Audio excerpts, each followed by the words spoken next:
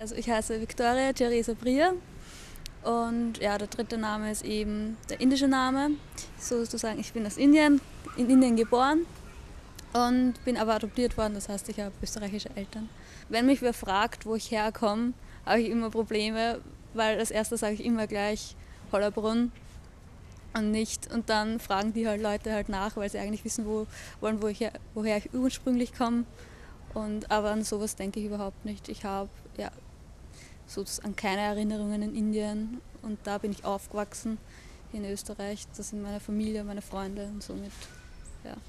Also vor zwei Jahren ungefähr war ich mit meiner Familie hier im Norden in Indien und es war ganz witzig, weil dann waren wir in so einem riesengroßen Einkaufscenter, so richtig wie Shopping City Süd in Delhi und dann ist auf einmal wer herkommen und wollte ein Foto machen. Also so Teenager und die haben meine Mama halt gefragt, ob sie ein Foto machen will.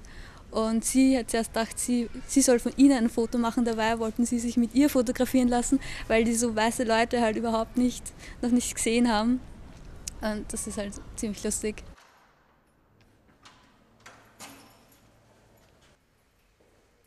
Also, ich bin die Sansi, bin äh, in der Mongolei geboren und äh, mit fünf bin ich nach Österreich gekommen mit meiner Familie.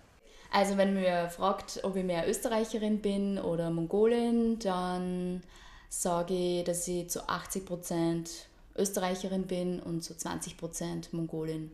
Zum Beispiel am meisten nervt, wenn mich jemand fragt, ob ich, also ob meine Mutter zum Beispiel einen Österreicher geheiratet hat und deswegen nach Österreich gekommen ist. Aber so im Alltag ist halt schon oft passiert, wenn ich in ein Geschäft gegangen bin, dass mir ein Verkäufer so von vornherein äh, mit einem gebrochenen Deutsch angesprochen hat, weil er davon ausgegangen ist, dass ich nicht äh, Deutsch kann.